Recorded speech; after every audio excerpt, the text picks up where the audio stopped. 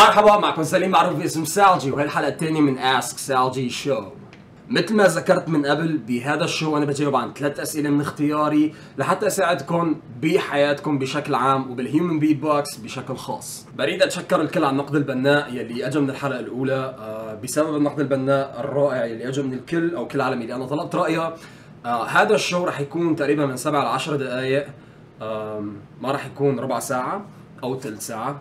فراح أحاول أخلي آم، أجوبتي مختصرة وقصيرة قدر الإمكان. بنبلش مع السؤال الأول من محمد السيد؟ أنا أهلي مو متقبلين البيت بوكس ومو فهمانينه وما بدهم يعني أتعلمه بس أنا عم بتعلمه بشراسة ومستواي جميل. كيف أتعامل مع هي المشكلة؟ السؤال شوي حساس. يفضل أهلك ما يحضروا ال show. آم، رأي الأهل مو مهم نهائيا بالشيء اللي أنت عم تعمله. طالما ما عم تأذي حالك وما عم تأذي محيطك. يعني آه كمثال ما بدك تصير porn star وتضرب سمعتك وسمعة العيلة وتبهدل حالك فإنه أنت كل اللي عم بتسويه هو human beatbox فبس كشغلة أنا ذكرتها من قبل إنه أنت خليك في حالك لحتى يصير مستواك بينسمع لأنه البيت بوكس كثير مزعج إذا أنت بدك تتمرن قدام الكل. فلا تتمرن قدام حدا نهائيا خليك بحالك. آه، تاني شغلة آه، في معتقد خاطئ كتير بشكل عام بالكرة الأرضية مو بس بالوطن العربي إنه الأهل بيعرفوا مصلحتك أكثر منك. هذا الشيء صحيح إلى حد ما في الحياة. يعني ليصير عمرك 18 أسوأ الأحوال 21 ما بعرف ليش حطيت ثلاث سنين زيادة. يمكن لأنه هون ليصير عمرك 21 لحتى تقدر تشرب. بس المهم إلى حد أقصى 21 سنة إذا بعد ال 21 سنة أهلك بيقدروا يحطوا خطة لحياتك أحسن من خطتك كب حالك بالبحر. فأنا برايي أهلك بيعرفوا مصلحتك إلى حد ما في الحياة بعدين ما بقى بيعرفوا مصلحتك نهائيا ولا حدا رح يقدر يعرف مصلحتك بالحياة أكثر منك أنت. فواحد رأي أهلك مو مهم نهائيا بالشيء اللي أنت حابب تعمله في الحياة فاعمل يلي أنت بتحبه وأنت مقتنع تماما إنه أنت بدك إياه.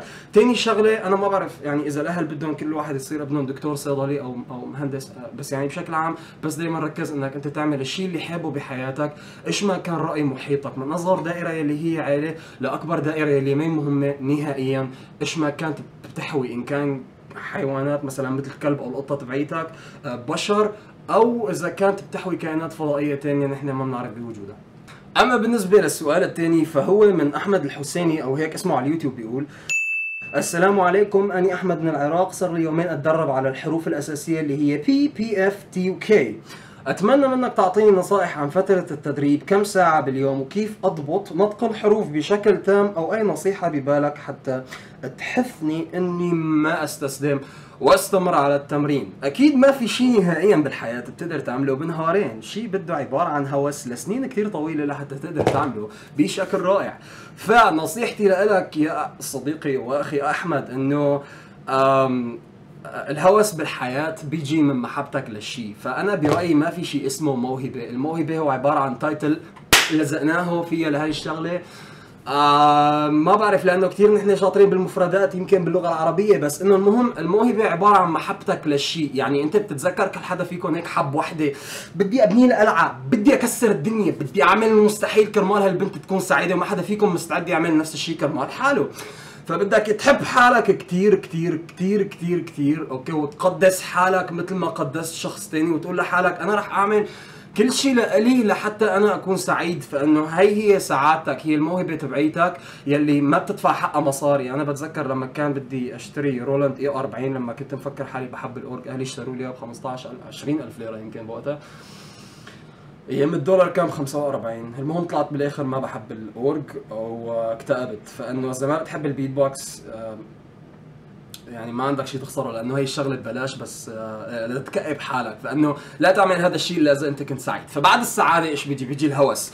فلما أنت تكون مهووس بهي الشغلة ما بتسأل حالك كم ساعة بدي أتمرن. يعني بس يعني الواقع إنك أنت عم تسأل كم ساعة لازم تتمرن عم بيقول لي إنه أنت ما لازم تعمل بيت بوكس من الأساس.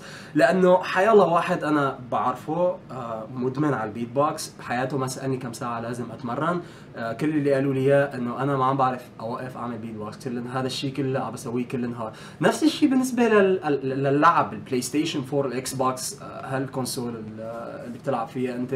آه، ما حدا في بيسأل حاله شد كم ساعة لازم ألعب؟ أنا لحتى اصير شاطر بهاللعبة. بضل عم تلعب كل نهار ف هاي الشغلة بدك تحب شيء تعمله؟ بضلك بتعمله لتصير مهووس فيه ما تسأل كم ساعة وبدك بتحاول تلاقي الطريقة لحتى إنك أنت تعرف كيف تعمل الشيء اللي بتحبه. ولاحقا بتحاول تلاقي طريقة لحتى تعمل شيء بتحبه بشكل أحسن. بعدين بتحاول تلاقي طريقة إنك تصير محترف بالشيء اللي بتسويه. بعد ما تصير محترف ببلش تحاول تلاقي طريقة إنك تصير أحسن من كل المحيط اللي أنت حواليك من العالم اللي بتعمل الشيء اللي انت بتسويه. بعدين تستنتج إنه ما في داعي تعمل كل هالشغلات. هي إنك انت تكون أحسن من غيرك تستنتج إنك لازم تكون أحسن من حالك. فبصير الهوس تربل هوس لأنه انت عم بتصير أحسن كل أسبوع أو كل أسبوعين. طبعا بالمستقبل يعني بعد أربع خمس سنين إنك تصير أحسن بالشيء اللي عم تسويه كثير صعب. لأنه أول شيء بدك تحط 100% من التعب لحتى تصير منيح. بعدين بدك تحط 200% لحتى تحافظ على الشيء اللي انت وصلت له. فهذا رأيي يا صاحبي. ما لازم تسأل كم ساعة. لازم تعمل الشيء اللي بتحبه وما تعرف كم ساعة أنت عملت الشيء اللي بتحبه. فبتمنى جوابي يكون ساعدك. أما بالنسبة للسؤال الثالث فهو من سير جي بوم آه هذا أكيد اسمه بس على اليوتيوب ما هيك اسمه على الهوية. عم بيقول أنا كنت بلعب كويس بس بطلت لثلاث شهور ولما رجعت ألعب رجعت اسوء من الأول وفي أصوات كثير ما بقيت أعرف اعملها وحتى تمرنت أكثر بس ما وصلت لمستواي الأول. أهم شيء ما تكون كثير طري انه تجرب شغلة مثلا نهارين بعدين تقول أنا ما مشي حالي وتوقف أهم شيء إنك تضلك آه، يعني مستمر لأنه الشغلة بحاجة لسنين. فافتح الفيديوهات العالمي اللي عم تشرح بكافة اللغات فرنسي إنجليزي عندك أنا عربي آه، روسي ما بعرف اللغة اللي أنت بتفضل آه، تسمع فيها الشرح. ما في لغة بالكرة الأرضية على فكرة ما غطت البيت بوكس أنا حسب اعتقادي يعني وحسب معرفتي. فإنه افتح الفيديوهات اللي بتفهمها أكثر شيء. وبعدين الحق ال ال يعني الشروحات أو الخطوات الشرح اللي الواحد عم يعملها. بعدين استمر بالتمرين لفترة كثير طويلة. مثلا أربع شهور على نفس الصوت كل يوم عم تمرن عليه 12 ساعة لحتى يزبط معك. بعدين عندك أربع شهور ثانية مثلا تقدر تحطه بإيقاع. غير هيك اذا ما عندك استعداد تكرس كل هالوقت معناتها أنت ما بتحب البيت بوكس آه ولا تتمرن على البيت بوكس آه لأنه يمكن ما نقول لك بس لا لك البيت بوكس. لا تفكر كم ساعة أنت لازم تتمرن. تتمرن لفترة كثير طويلة. آه وبهالطريقة بترجع أحسن من أول. والبيت بوكس طبعا آه شيء بأي شيء بالحياة بتعمله لفترة كثير طويلة. إذا بتوقف يعني تلقائيا أنت عم ترجع لورا. إذا بتوقف محلك مثل ما قلت بالسؤال الثاني بعتقد كان السؤال الثاني بدك 200% لحتى تحافظ على الشيء اللي أنت عم تعمله وتتحسن فيه لقدام. مشيت كل هالخطوات. بس وقفت انت صار اسمك عم ترجع لورا. ما اسمك واقف محلك ما بتضلك محلك. لا تتراجع. تتراجع وانت بس إيش عم تسوي؟ ما عم تشتغل حتى لو حافظت على نفس مستواك. فبحالتك انت انت وقفت بيت بوكس ورجعت سيء. فبدك تحط تقريبا 150 200% من التعب اللي كنت عم تحطه. فإذا كنت عم تمرن 10 دقائق اتمرن 15 ساعة بالنهار. وخليك عم تمرن على هالشكل خمس سنين وبعد خمس سنين بتطلع لوراء بتتشكر حالك من خمس سنين على هالقرار اللي اتخذته.